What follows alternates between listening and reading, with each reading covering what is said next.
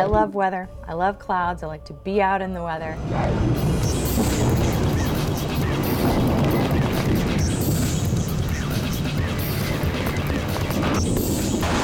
And I also like to know a little bit about what I'm looking at.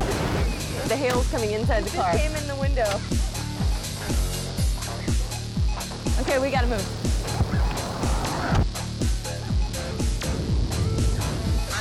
Wall clouds for me. We're gonna get a tornado. So let's look at the three main cloud types and how they're used as kind of indicators for the weather. So we've got cumulus, stratus, and cirrus. Cumulus and stratus are low level clouds that's below 6,500 feet. High level clouds are above 20,000 feet.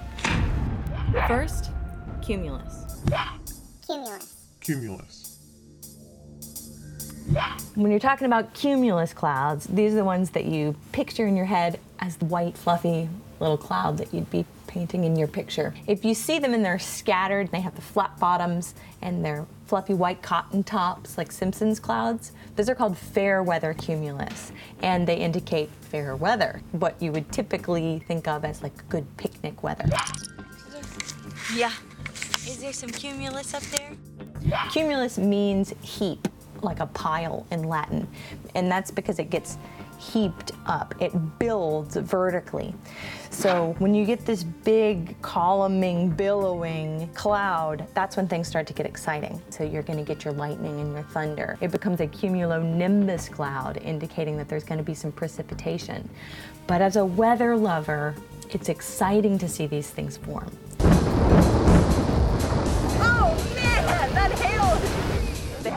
Stratus. Stratus. Stratus. Stratus are another low level cloud. Stratus means layer, like a big blanket across the sky. And this is what you think of when you look up and you see kind of a gray day where you just have this total cloud cover. Kind of dismal, want to curl up with a good book kind of cloud. It could bring a little precipitation, a little misting, or none at all. I don't mean to judge, but it is kind of a dismal cloud. Now let's take a look at cirrus clouds. Cirrus clouds. Cirrus clouds.